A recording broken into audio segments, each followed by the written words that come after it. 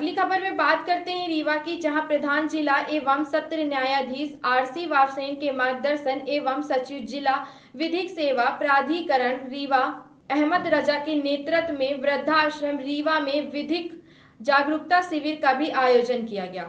शिविर में सचिव जिला विधिक सेवा प्राधिकरण अहमद रजा द्वारा माता पिता के भरण पोषण अधिनियम की जानकारी दी गई।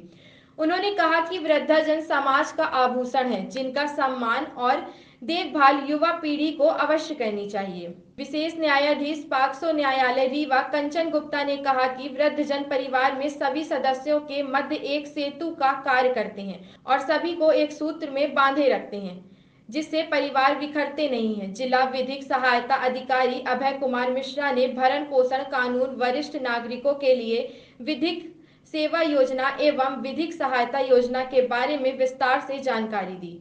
शिविर में न्यायाधीश ने वृद्धजनों को सम्मानित किया। इस अवसर पर वृद्धा आश्रम के doctor Raghavendra Singh, paralegal volunteer Sabir Aslam व वृद्धजन उपस्थित रहे।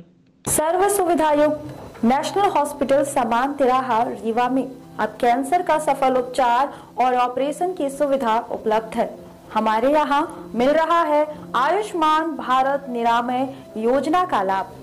आयुष्मान जन आरोग्य योजना के तहत सभी प्रकार के मेडिक्लेम की सुविधा उपलब्ध है।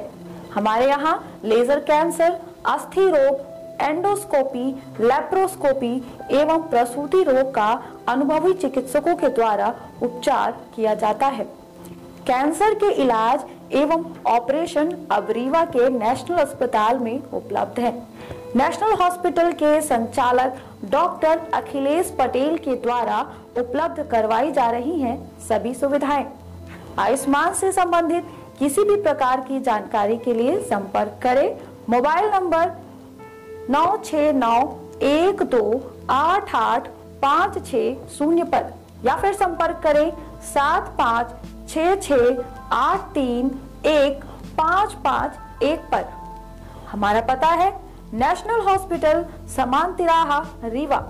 संपर्क करें शून्य सात छ छ दो, तीन पाँच नौ नौ सात चार पर।